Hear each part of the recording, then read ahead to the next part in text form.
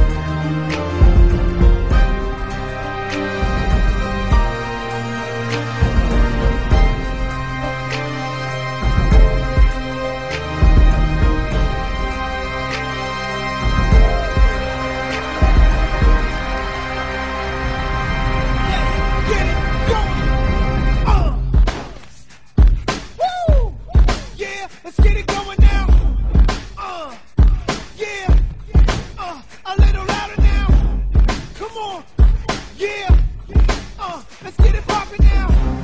Yeah, come on.